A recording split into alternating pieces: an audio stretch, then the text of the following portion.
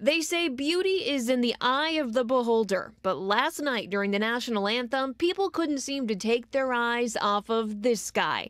It's the face that launched a thousand tweets. Some have called him an abandoned stuffed animal found 20 years later in the attic.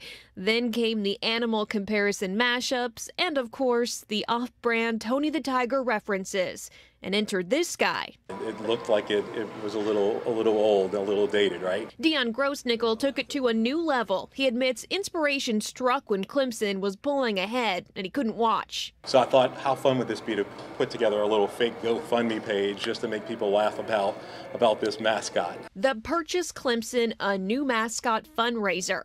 But when LSU bounced back, he turned his phone off. By halftime, I turned it back on and it, it kind of went a little crazy, didn't it? 158,000 shares and counting. Plus, the real kicker, about $2,000 in actual donations. And the first thought was like, I hope these Clemson fans don't start attacking me. Um, and, and well, I'm blessed because it seems like they have a pretty, a, a pretty great sense of humor. Now he'd like to see that money go to a good cause. He's handing it over to Clemson, hopeful they'll find a good charity to donate it to. Which would be such a blessing. But LSU's Tiger shouldn't get a big head from this social media beauty contest. Mirror, mirror on the wall. Turns out some fans think it's Auburn with the best Tiger of all. In Hammond, Nikki Davidson, Eyewitness News.